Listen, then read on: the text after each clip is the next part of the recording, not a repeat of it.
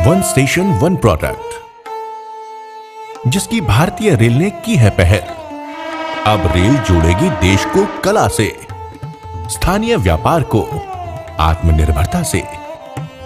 Budget 2022-23 में railway स्टेशनों पर one station, one product scheme की घोषणा की गई, जिसका मुख्य उद्देश्य स्थानीय उत्पादों को प्रोत्साहन एवं वोकल फॉर लोकल को बढ़ावा देना है।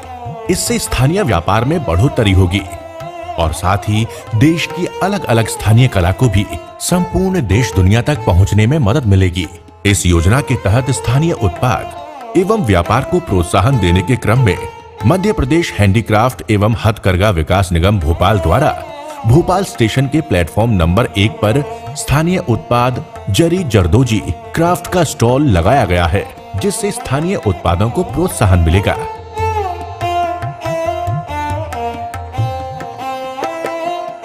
मेरी जरी जरदोजी का स्टॉल लगा हुआ है। वहाँ पर रेलवे विभाग की तरफ़ से, जो कि बहुत अच्छा चल रहा है। लोग आ रहे हैं, देख रहे हैं, ख़रीद भी रहे हैं। बहुत ज़्यादा हाईलाइट हो रहा है बिकने के बाद तो। और सभी जगह मालूम हो रहा है। जरी जरदोजी कढ़ाई की एक शैली है, जो कि 12वीं शताब्दी में मध्य एशिया से भारत में आई थी।